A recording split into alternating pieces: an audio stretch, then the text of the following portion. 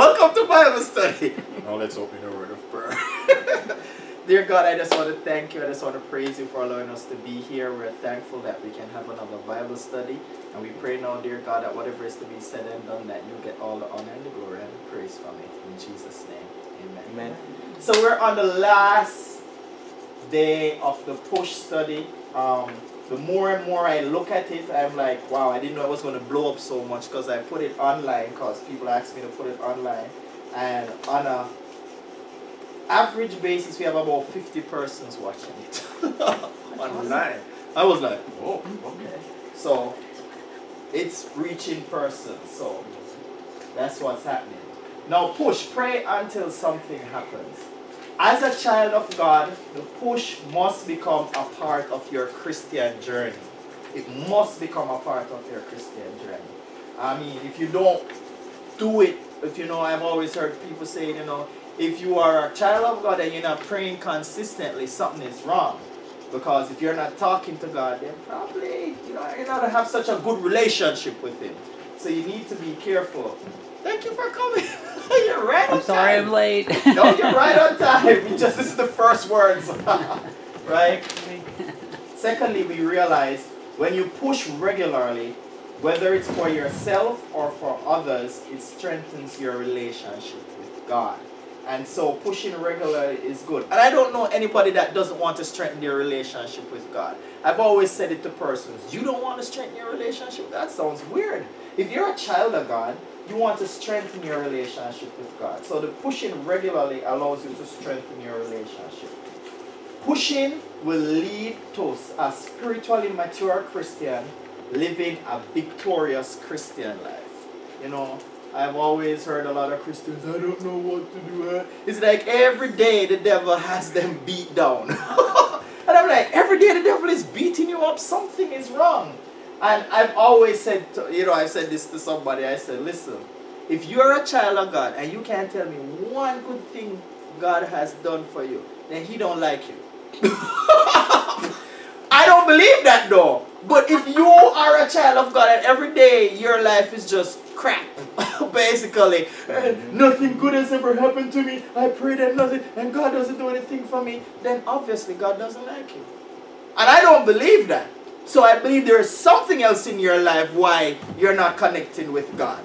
So don't play on the premise that God don't like you, as some people have it to say. Because if you're a child of God, He loves you. A matter of fact, if you're not a child of God, He still loves you. So if you're saying God has never done anything good for you, the only conclusion I can come with, He don't like you. So I don't know. but that's not true. So stop saying that. Apart from using the push, it comes with one major responsibility. And I always tell everybody, you learn about the push, it's a wonderful strategy in your Christian life and you use it. But it comes with one major responsibility, and it's this. You now have to teach others how to push. You aren't, you aren't learning all of this thing just to keep to yourself. I've always tell person, when you come to God, you become a child of God, God never saved you for you to sit in church say, I'm a Christian, I'm a Christian, I'm a Christian, I'm a Christian. He saved you so you can tell other persons about Him. Tell them why you became a Christian. Share your experiences so they can meet with God too. So if you believe you're supposed to sit in church and not tell anybody, something is wrong. Church is outside of the four walls, not just what you see every Sunday. So we need to teach others how to push. God always wanted to have a relationship with man. That's God. He always wanted to have a relationship with man from the beginning of the word. That's what God was doing, having a relationship with us. So he never wanted us to be on one side and him on the other side. So communication was very important to him, right? The relationship, as I said, is strengthened by prayer and the life, all right, and the life we have. So the more we pray, the more we're what? Communicating, and the more our relationship with God is strengthening. So I always tell persons, if you're married to somebody, or whether you're not married to them, or somebody is close to you, but you never talk to them, I don't think you're really close with that person. I don't think the marriage is going good if you are married for 50 years and you never talk to the person. You know, Do you know anything about your husband? No. No. Only married him for 50 years, but I don't know nothing about him. I him. married her. I'm like, Bye. something is wrong with that relationship. right? But they connect with that sigh, they could like, they connect with that look. It's like, Connect with the look, and No, still you don't know anything. what you hear. Listen, my grandfather and my grandmother had that weird marriage relationship. I don't know how they worked it out. But she knew everything about him. So at some point in time, she talked to him. I probably when I wasn't there when they were younger, but she talked to him because she knew what he liked to eat. She knew all his favorite stuff and things like that. He would remember her birthday and all. So they must have talked somewhere on the line, right? But I can tell you, if they wanted their relationship to be better, they should be communicating. It's the same thing here, right? Now, when Jesus walked the earth, he was the greatest teacher. I love Jesus because Jesus was very practical. You know, unlike some persons here now that just say things and make up things sometimes when they're teaching, Jesus was practical. You know, he always hit the nail on the head. Yeah, we're gonna stone her, Jesus. You're gonna stone her. Yeah, what she? Oh, she committed adultery. Yeah, she was sleeping. Oh, she was. Oh my, yeah, yeah. We should stone her. But hold on, let me write something. And when he wrote on the ground, everybody walked away. If you never sinned before, you know, cast the first stone. I love that. He just is a wonderful teacher. But one of the things I also love, and I don't want people to forget, is that in his teaching, he taught us how to pray. That is something we forget a lot. And then that is something that some people love because guess what? Everybody loves to talk about our Father prayer. Because this is the model he gave us in the Bible. And so, let me read it.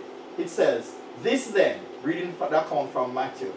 This then is how you should pray. Our Father in heaven, hallowed be your name. Your kingdom come, your will be done on earth as it is in heaven. Give us today our daily bread and forgive us our debts, as we have also forgiven our debtors. And lead us not into temptation, but deliver us from the evil one. So Jesus was teaching his disciples and other persons how they should pray. And I always bring this prayer back every now and then because I want people to understand what it's all about. But people don't understand that this is not a simple prayer. They think this is just a simple mode Jesus gave them all to pray. It's really a complex prayer. But you have to break it down to find out how complex it is. So Jesus didn't just give us shallow water in prayer. He gave us a big deep water to go in and then he wants us to graduate from this.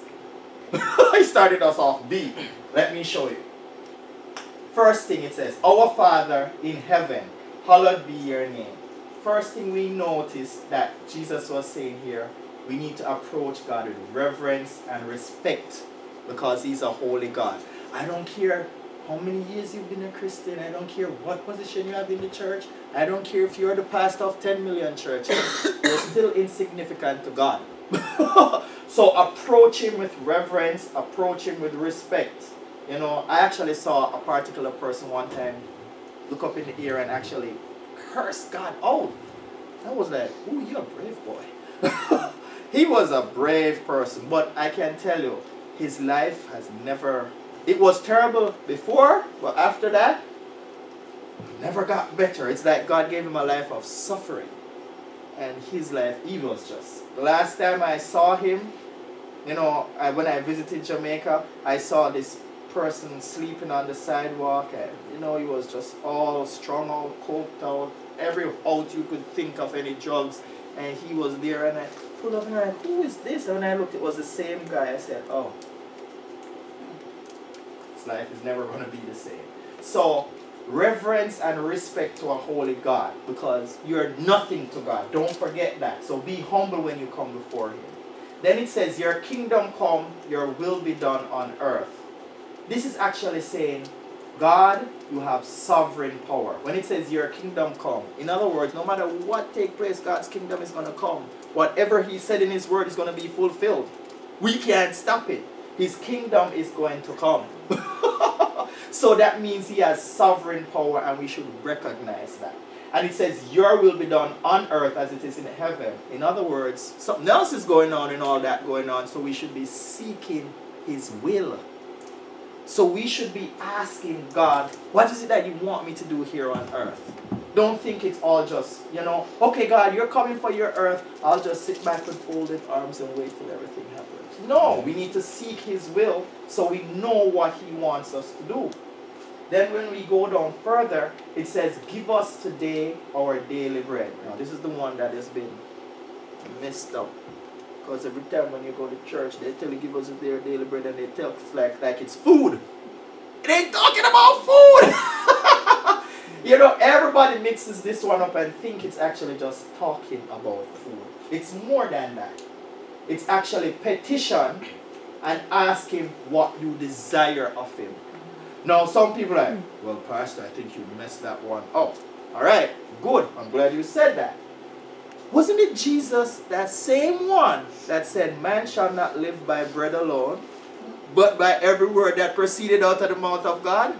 Then when he tells you here that you should ask for your daily bread, and then he tells you in another one that you should not live by bread alone, isn't that contradicting? That means he wasn't talking about food. You see, because people have challenged me on this one, you know. And I love it. I love when they challenge me and say, okay, let's see what Jesus said. So he's talking about here, he said it before. We should not live by bread alone, but by every word that proceeded out of the mouth of God. So if we're seeking his will and we're asking what we desire of him, he'll daily fill us and tell us what he wants us to do. He'll tell us how we should live day by day. If we read his word, then we'll be getting his daily bread spiritually to fill our bodies and what we should do and how we should live. So when he says, give us to this day our daily bread, we're going to be talking with him. All of this is talking about communication, you know. So if we're talking to him and asking what you desire of us and all of those things and bringing questions to him and stuff, he's going to answer us. He's going to give us our daily bread. So that is what he was talking there. Every word that proceeded from the mouth of God, that's what we that's our daily bread. And then he went on to say, and forgive us our debts. Right? Very easy part here. Confession. Right? Asking his forgiveness for ourselves. Many times when I get up in the morning to do that early morning prayer, I always ask God for forgiveness because sometimes I don't know if I did mess up or did anything wrong. And people now asking me to pray for them. I don't want to go and pray to God about the things that you did or anybody else did and I got sin in my life. then I'm just wasting my time. I need to confess my sins before, get things right with God before I start praying for anybody, even myself. So that's what I make sure I do. But I love God when He says this and we also have forgiven our debtors. That means he gave us the other side of the coin.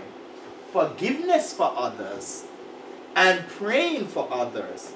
So in other words, he's not asking you to, to for the other person to fix it with you. Even if the other person still don't like you. You're supposed to still forgive them and fix it spiritually. Doesn't mean the situation is fixed. They might not talk to you. But you're supposed to still forgive them, still be praying for them, forgive them. So, in other words, they owe you a debt. In this one, he went to the extreme. It's not fixed. They owe you, but you still should forgive them. That's why I said that. So when, the other day I was thinking about it, there was somebody that did something for me. Now I thought I was old news by now. You know, somebody carried my name a little bit in Jamaica and said some things about me and some stuff that I did. And I kind of heard it back. I thought I'm still news now. I thought everybody forgot about me. so I actually got the person on the phone. And someone that I love dearly. So, you know, talking to the person, but I'm like, God, as a man of God, I need to call them out on this. You know, I can't just sweep it under the rug. So I said, such and such and such. And the person said, oh, you gone down back that road. Poop, poop, and gave me dial tone.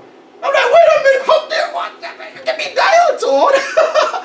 It's like I did something wrong. And I didn't do anything wrong. you know, I had to pray because I was getting upset. I don't know about you. But when someone does do something wrong and then you talk to them in a calm manner and they get upset on you, I don't know if you're all like me and like, oh God, forgive them. No, I was upset. Because I didn't do them anything. But started to pray and God has relieved that for me and I've forgiven the person. I continue praying for the person. I'm praying that our relationship will be restored. Right? Because it's somebody that I love, but they just wronged me.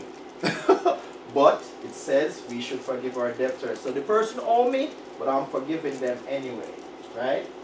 And then it says, and lead us not into temptation. This right here is talking about remaining faithful through trials and tests. So things gonna come your way.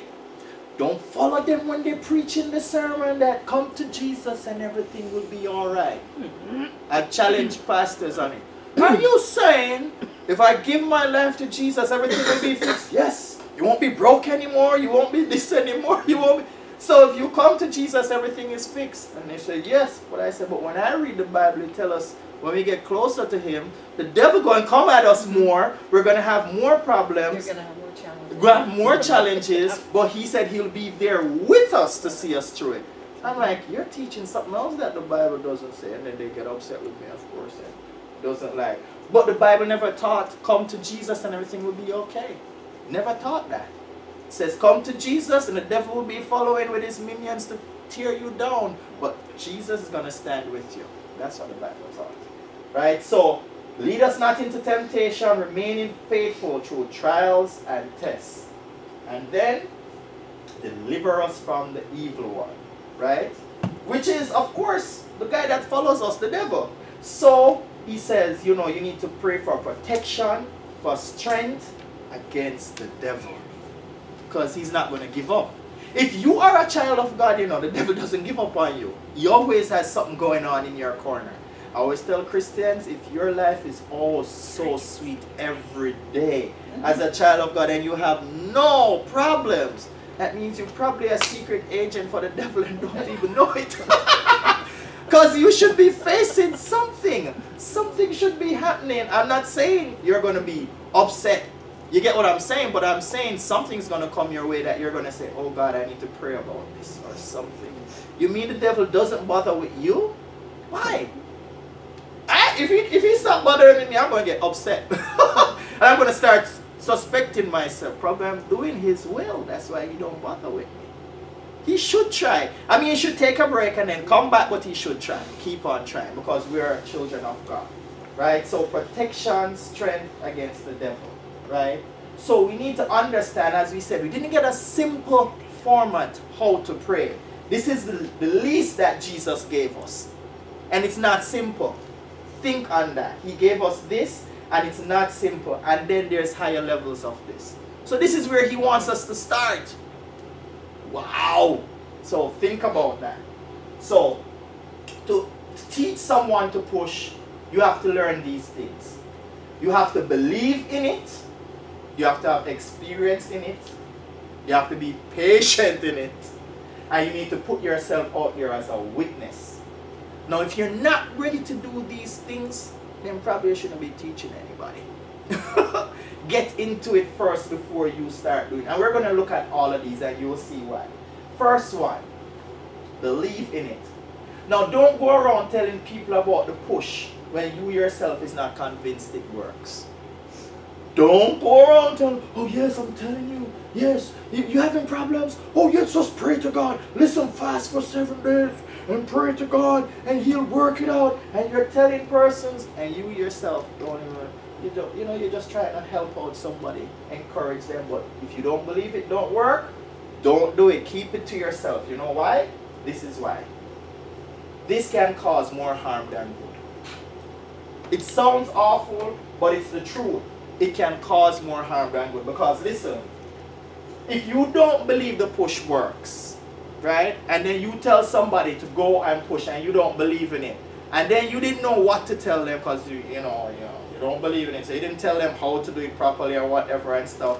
And they said, Well, I went and I prayed for a week and nothing happened. And they're like, So what do I do? And you're like, I don't know. That's why I didn't want to take this God thing up. I don't believe in God and whatever. The person can be totally turned off from God because he didn't know what you were doing. Worse, if you were just trying to be nice and say something to the person, trying to encourage them, and then you tell them how they should push, and when they do it that way, you realize, oh well, I really don't know what I told them. They're going to just turn away from God. So if you don't believe in it, right, and you're not convinced it worked, don't go around introducing it to people. Don't go around telling everybody, pray until something happens. Does it work for you? Pray until something happens. don't tell persons if you're not convinced it works. Because they're going to say, then if you don't believe in it, why should I do it? And it's your God. You get what I'm saying? So don't do it. The next thing is don't go around telling persons if you don't have experience in it. Don't be telling people about the push and you have no experience for yourself. I'm telling you, this push thing works. And they're like, really? Yes, you can pray and move God's hand. Wow, how do you know? Well, my pastor told me a story. Okay. Yeah, I hear you, I hear you, but I don't know your pastor, I know you. Tell me how it worked for you. Oh.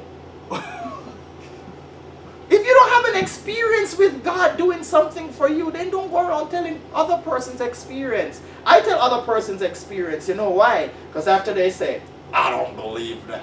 And then they say, did it work for you? I'm glad you asked. then I share my experience. And then they're like, oh, oh. So I don't never start with my stories. Never. I start with other person's stories. Right? But if you don't have any experience in it, how you going to tell somebody it works and you're convinced?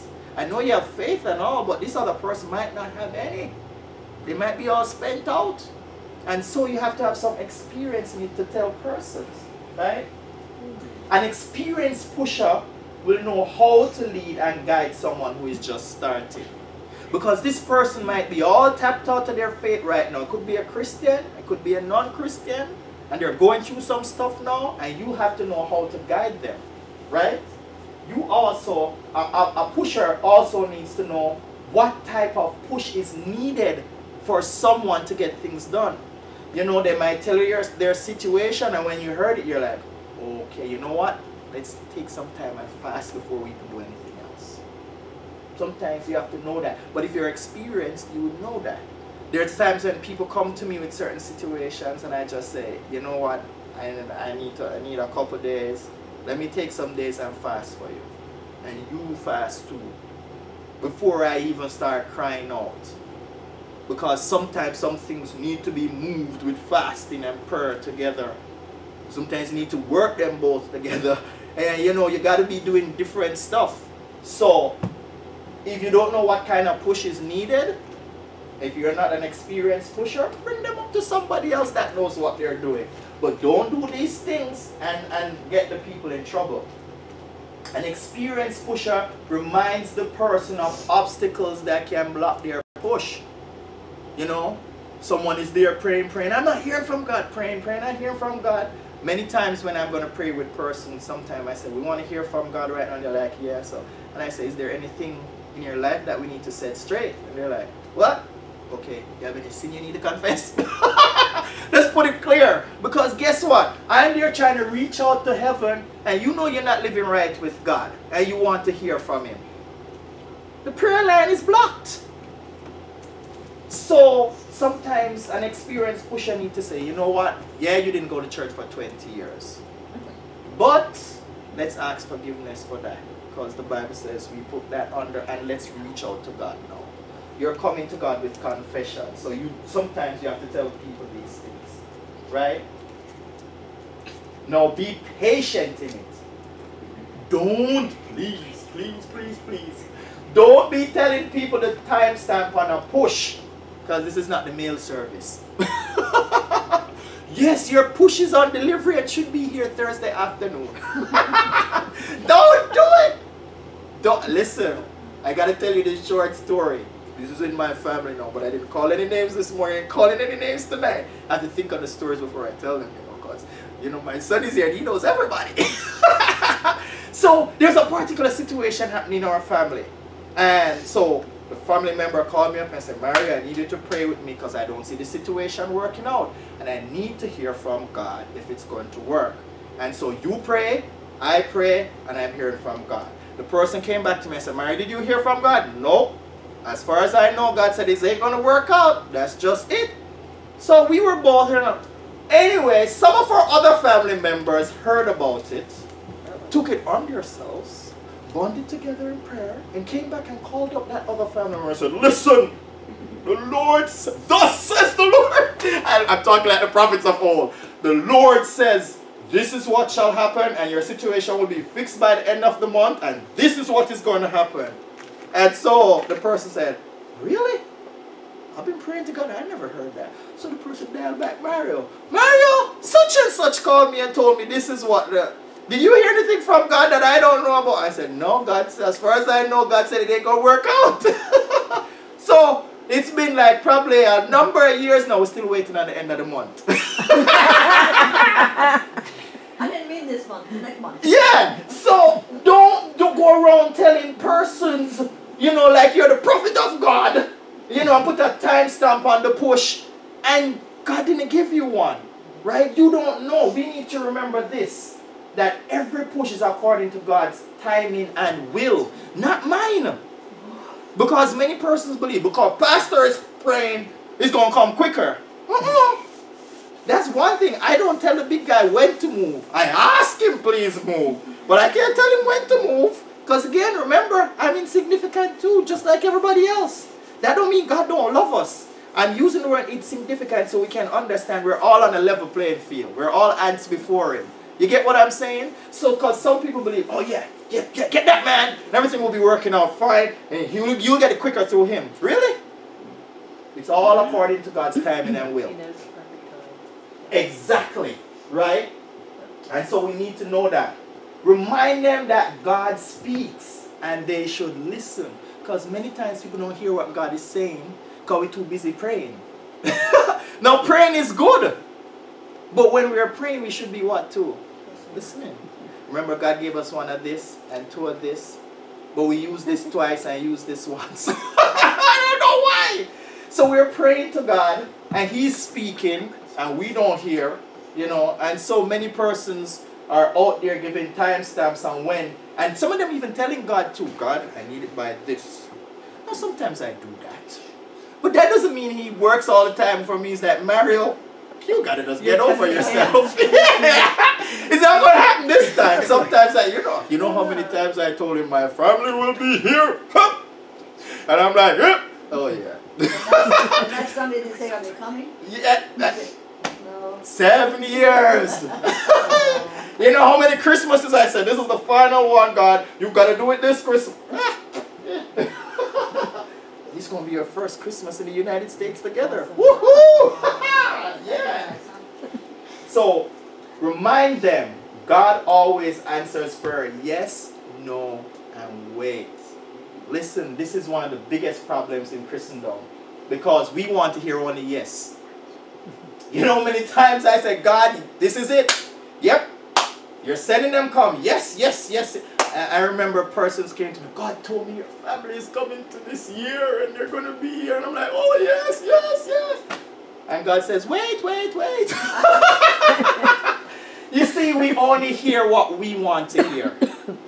And so God answers, and many times we don't hear what God says because we're only want to hear. We love the yes bracket.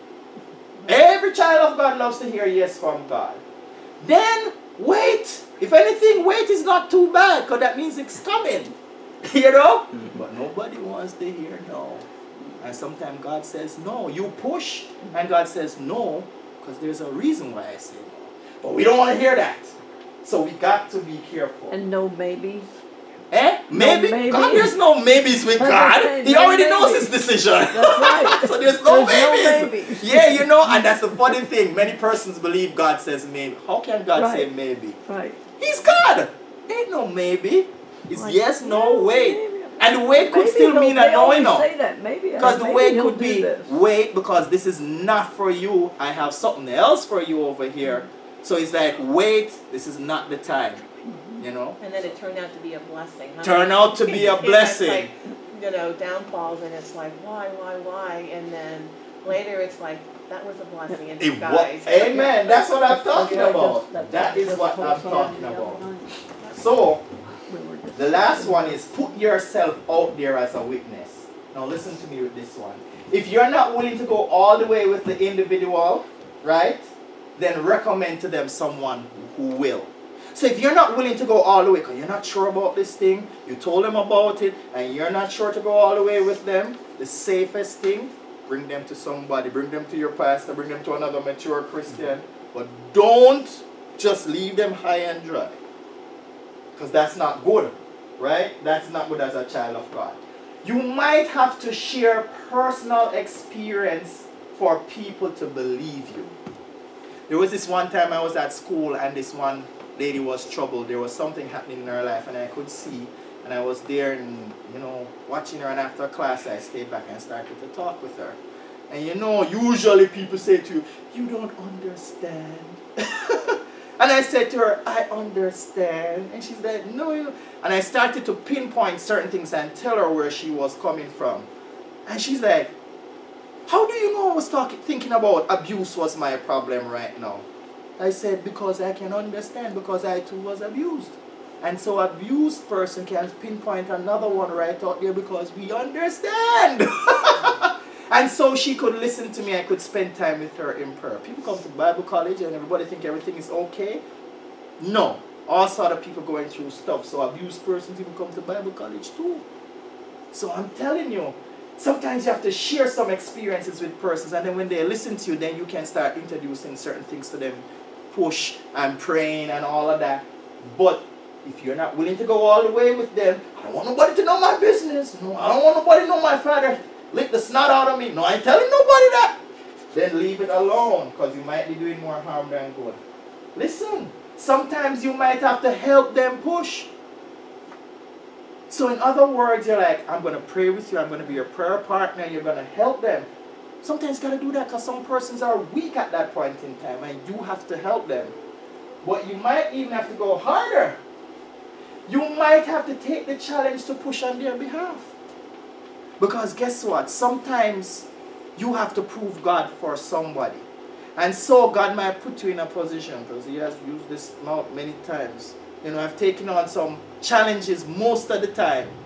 And most of the times I, I want, because I'm not a boastful person.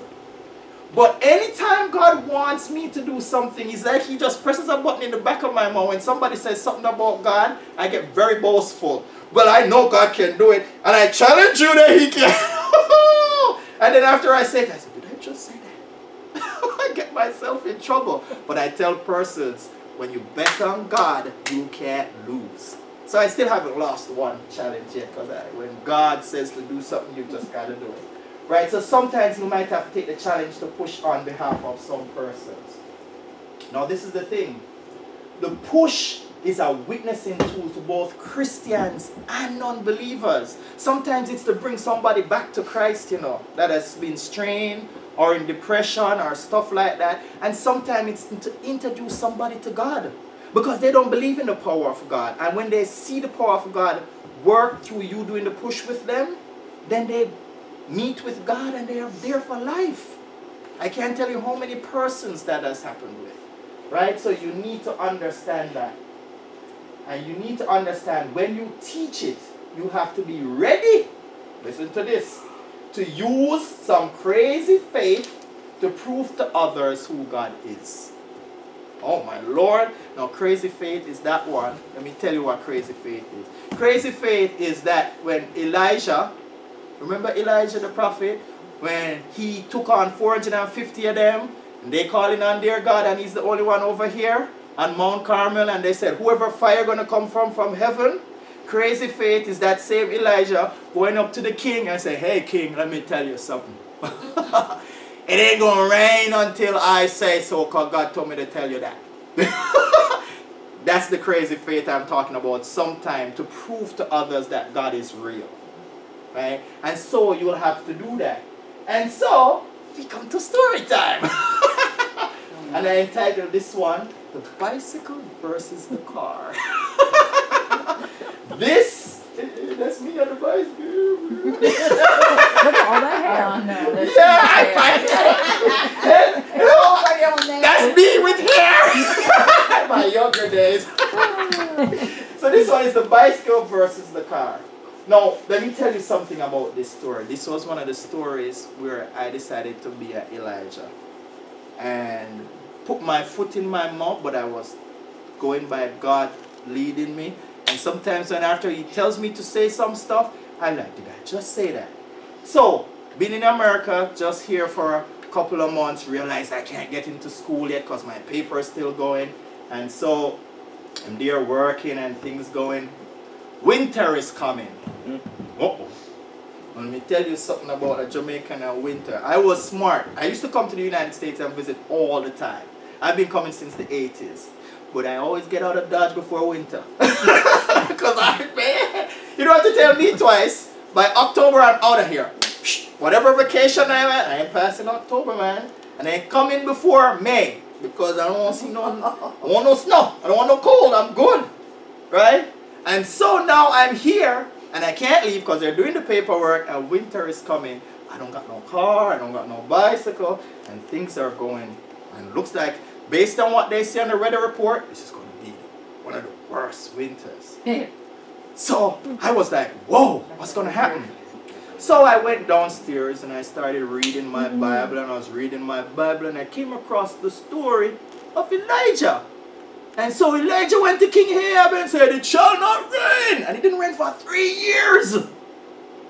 Three years this man told the king and it didn't rain for three years. And I'm like, wow, what a, st- wow, this is awesome. What? I can't ask God and it doesn't rain.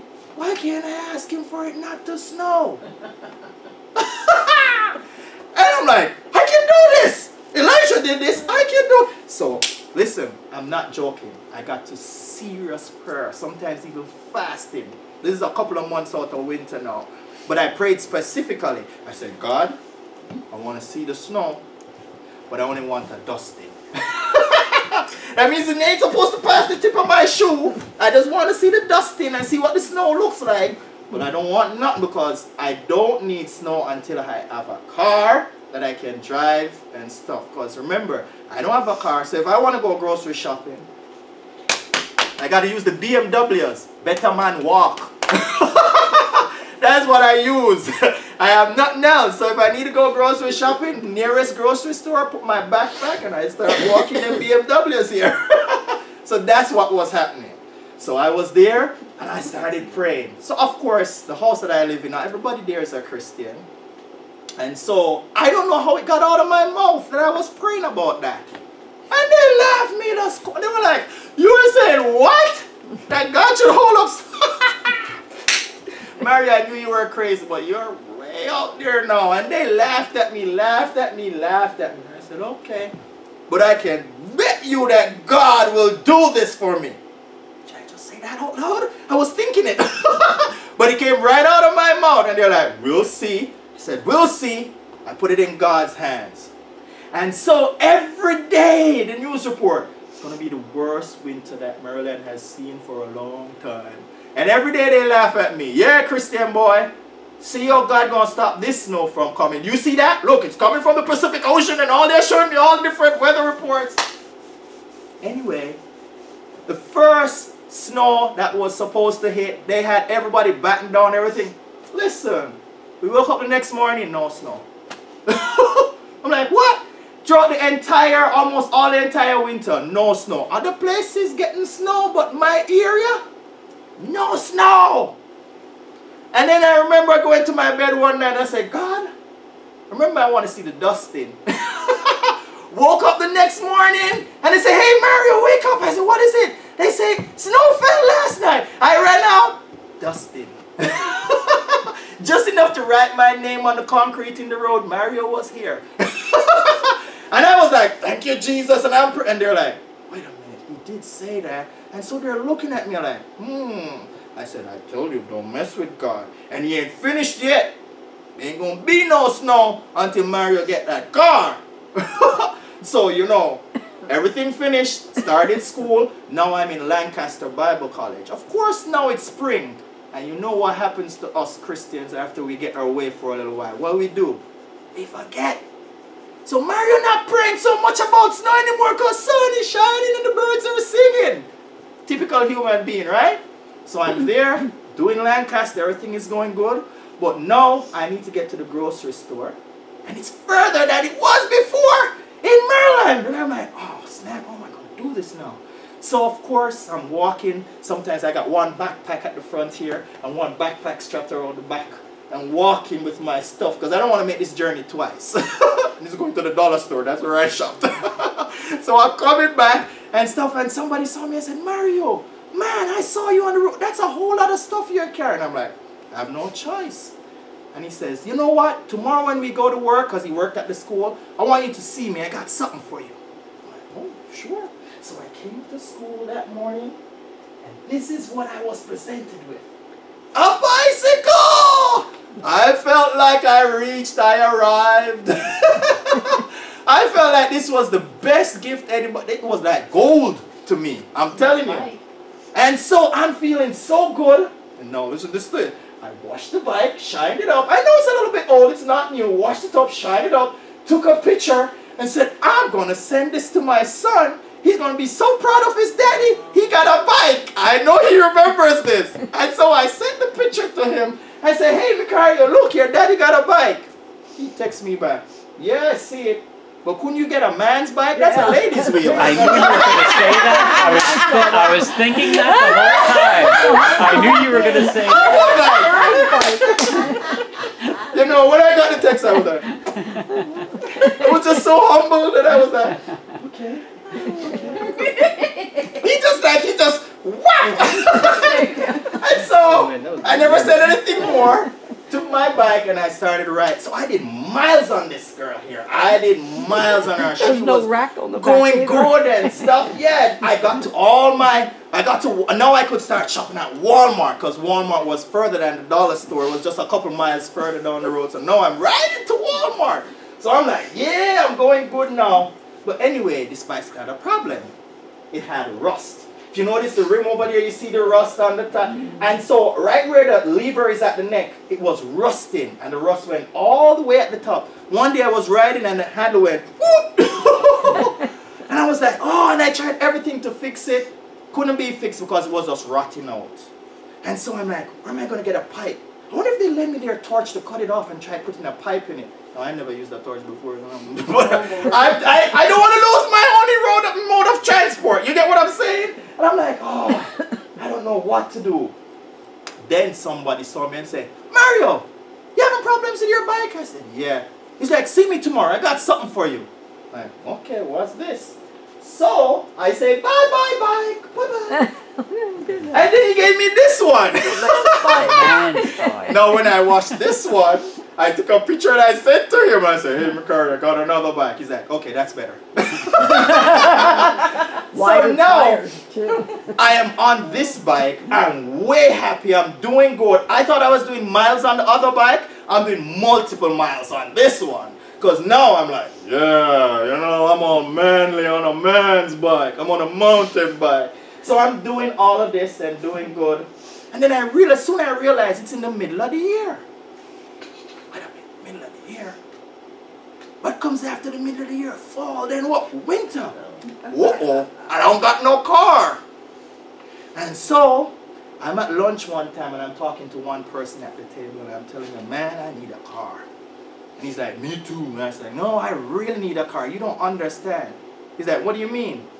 I said, I need a car that I don't own, that someone pays for all the parts, someone pays for all the, the, the things that come with it, the registration and all of that. The only thing I'm responsible for is to put on the parts that they buy and put gas in it. The guy looks at me and like, are you dumb? You want somebody to buy you a car that they give you the key and they pay for all the insurance, all of that stuff, and the only thing you do is put gas in it, and if there's parts to put on it, they buy it and give it to you and you put it on? Uh-huh. Immediately after I finished saying that, he says, hey guys, come here, sit around the table. We need to talk about it. So there was a crowd around the table. And then they, he's telling them my prayer. And I'm like, and everybody's laughing at me. So of course, the button touches in the back of my head again. I say, but I bet you God can do this. and everybody's like, okay, Mario. God is going to provide you with a car that you don't own and that someone, you know, they're all jeering. This is Bible college. And I said, and on top of that, I already told him it can't snow until I get a car. Oh, oh, so now you control snow too. Oh, and they're all laughing at me. So I told him what had happened the year before, and they're like, well, that was just a coincidence. And I said, we'll see. I'm putting my foot down. God is about to do this. And they're like, they're all laughing at me. So we went on. Things got hard for me then, real hard. Couldn't find the money to go back to Maryland to teach youth group. And so they didn't see me for like a month and a half. And the pastor calling me and said, when are you coming? I'm like, I just can't afford it. A bus ticket is just too much. And he's like, okay, okay. And so I said, you know, one of these days I'll come and resume youth group and all of that and stuff. So I'm there with my bicycle and I realize that, you know, August running away, September rolling in.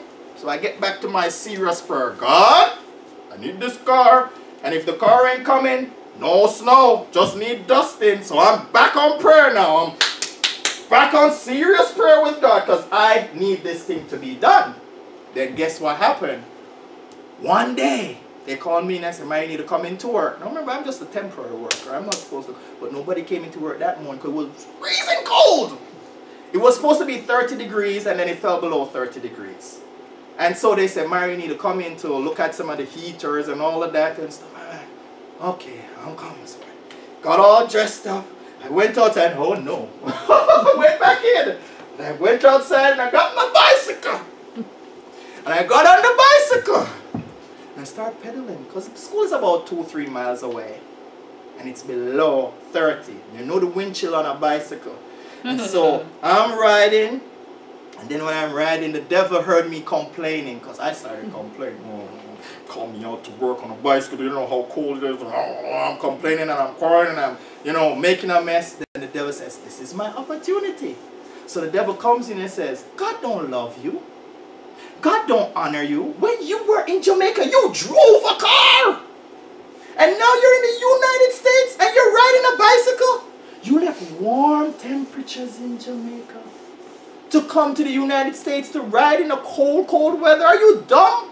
God doesn't honor you. Because if he honored you, he would have not given you one bicycle and graduated you to another bicycle. And he started laughing at me. Oh boy, Mario got mad upset. I'm like, God, yeah, you know I need a car. And I start, you know, I'm getting all, you know, getting all upset and I'm riding the bicycle. And there I was riding the bicycle, I passed this man, a little short man, on his way to work.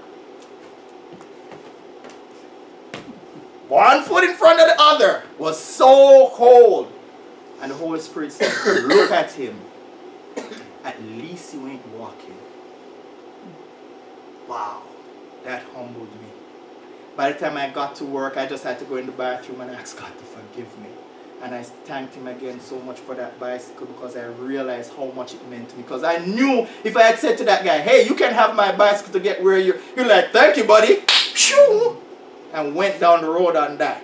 And so I said, no, I need. So I made sure now I start pushing again. I said, God, whatever your will is. But I'm pushing for that car or no snow. Whichever one you want to work, that's okay with me. About two weeks later, I got a call from Maryland. Pastor said, you coming down this weekend?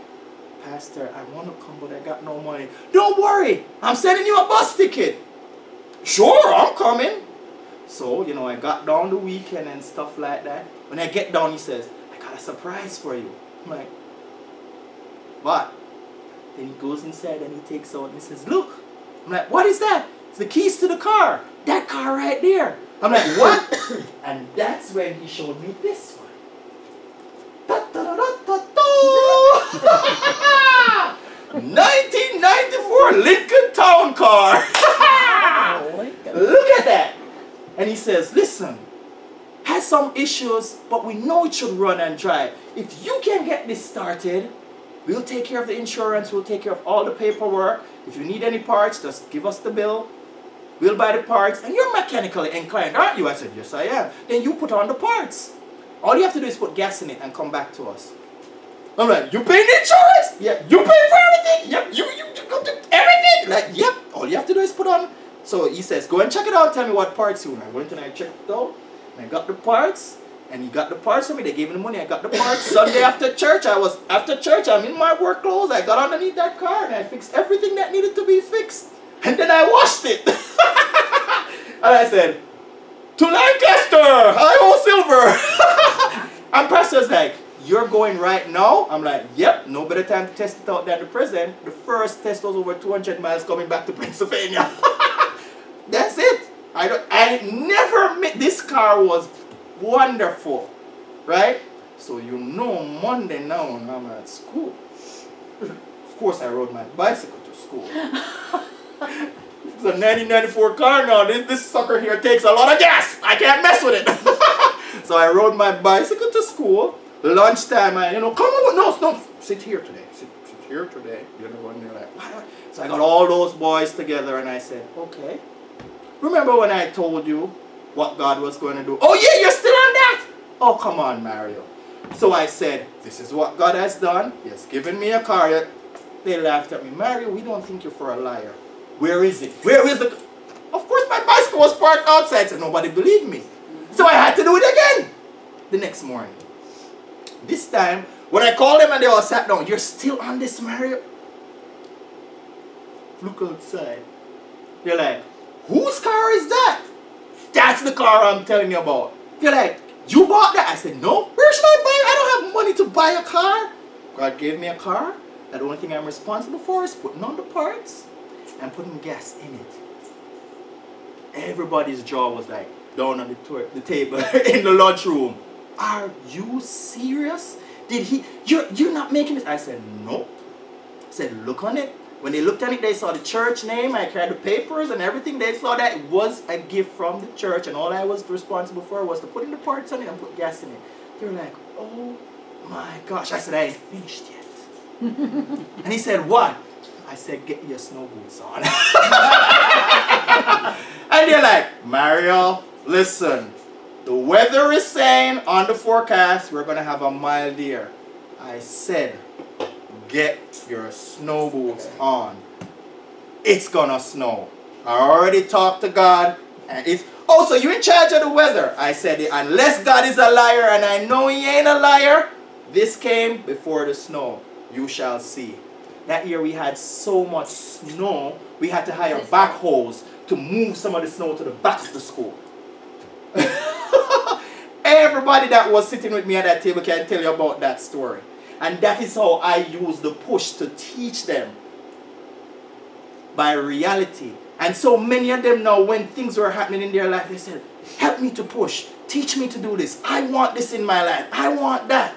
Many of them said, I don't want to just marry someone. I want a, a woman of God. I said, well, you got to push for her. Pray. And so many of them did this, all because of what happened with my story of saying, you know, I'm going to control the weather. Because I can't, but I know who controls it. And if Elijah can do it, why can't I do it? Because he talked to God too, just like me. So we need to understand that when we teach persons to push, right, they need to understand as twice as much as they are pushing, they need to listen more. So they push hard, they need to listen twice as hard. Because God will tell them stuff at times. God will tell you stuff to do. And it's going to look crazy and people going to laugh at you, but you got to trust God. You got to trust God, especially when you're teaching person that don't believe. Now, this was all Christian person, by the way. This is Bible college. As if Christian persons can be so unbelieving, judge the person that don't believe in God. Right? So you need to remember that.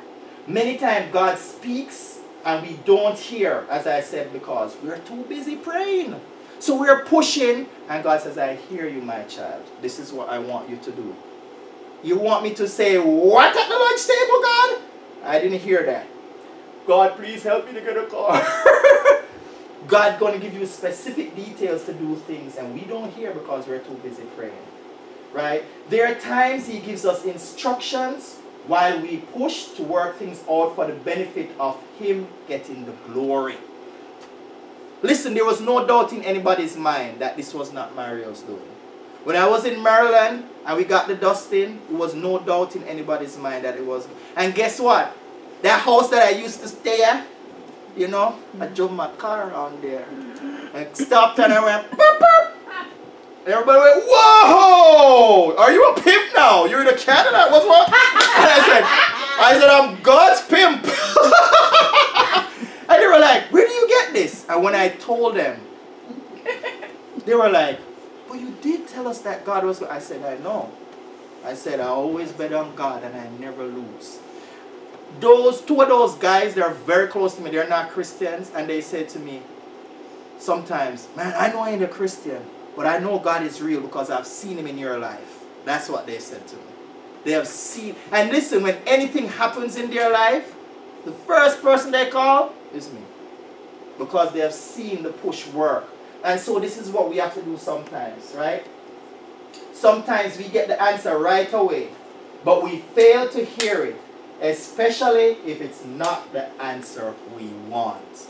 So we got to be careful when we're teaching persons to push. And God has answered. Let them know that God has answered, even if it's not what they want. Prayer is something given to us by God, right? We need to remember that.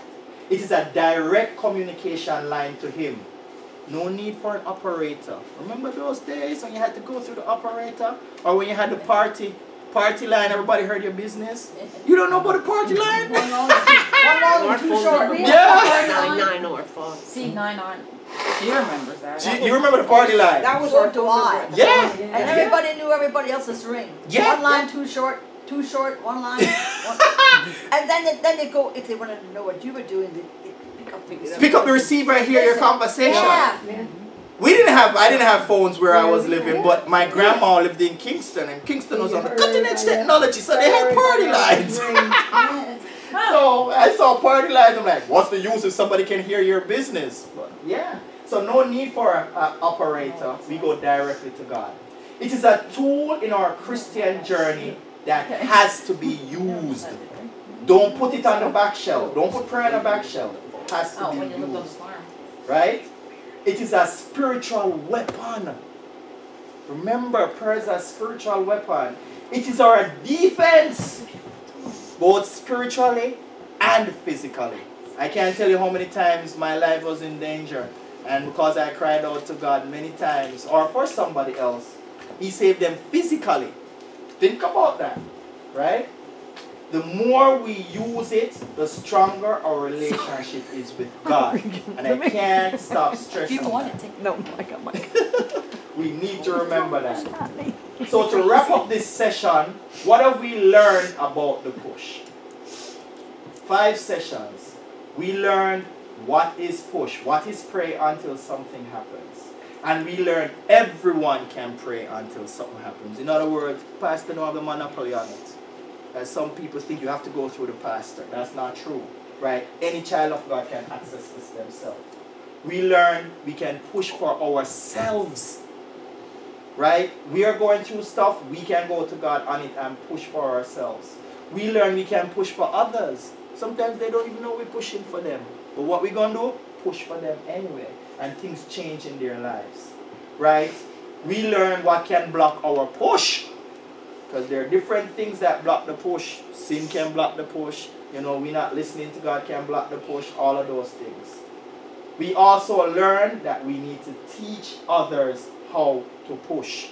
So when we get experienced and we have all this knowledge and we have used it for ourselves, we now can teach others. But I leave you with this to end the series. Very important. Now that you have learned about the push, what are you going to do about it? It's useless I come and spend five weeks and telling about praying until something happens. And then when all of you go, nobody praying. so if you don't believe it, at least try it. Right? Put God at His word and try. Some persons are having situations in their lives medically. Some persons are having situations in their grandkids' life, their children's life. Start pushing for them. Because remember, there are other things. that You can push for yourself. You can push for others. Start doing it. Challenge God and say, God, I want to hear from you regarding this.